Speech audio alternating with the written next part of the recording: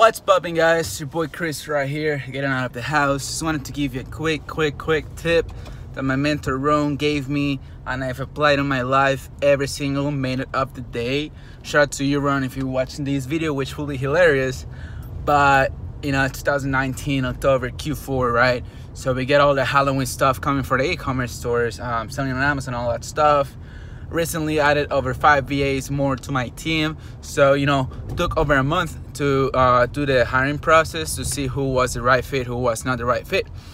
Long story short, guys, the reason for this video is because I want to tell you that situations never get better. Never. You are the one that gets better. That's a tip my, my boy Ron gave me, my mentor. And the reason for that is because there is something on, um, I was dropshipping, right? I was sending from Home Depot to um, to the customer.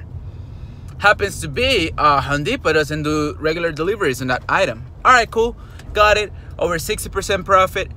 I got you. I don't care. I want it. I want 60% profit. You know, first order went sweet. I think I got like over 50% profit, 55 on that first order from one of my VAs. And honestly, that order covered the whole payroll on the VAs. That was like the funniest part. But that's not the reason. The reason is I get another order and I go check and Home Depot it's charging me 70 something dollars to the fucking shipping. When in the order before they charged me like 10 bucks 9 so you know what I did?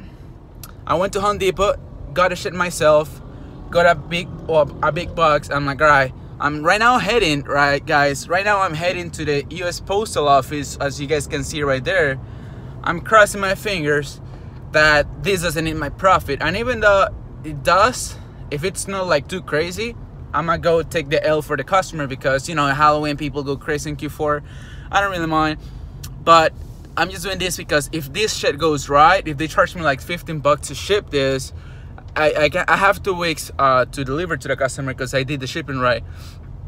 You know that's gonna be thousands of thousands of thousands of thousands of dollars win that i will have on october this month because that's just like a seasonal product. If not, we did our best. That's all it cares. So, you know, my old me three months ago, because I changed a lot, I improved a lot, I'm still improving a lot. I aim to be different, way better than I am today in the next three months, perfectly before the year ends because we're gonna cover uh, 10, something like that. Dude, my old me wouldn't even have put a table on this bitch. I'm just kidding. But my old me will be so frustrated, will be like, why me, why me, why me, why me? And I'm sharing this with you because either you are that person or you already changed and that's awesome, props to you. But send this to a friend that needs it. Because again, I would have said, fuck the customer, I'm not gonna take an L, I'm not gonna get out of my way.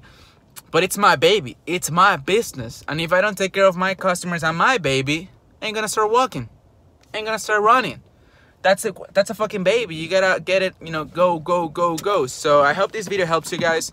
Let me know in the comments and if you need anything don't hesitate to reach out to me. See you guys in the next video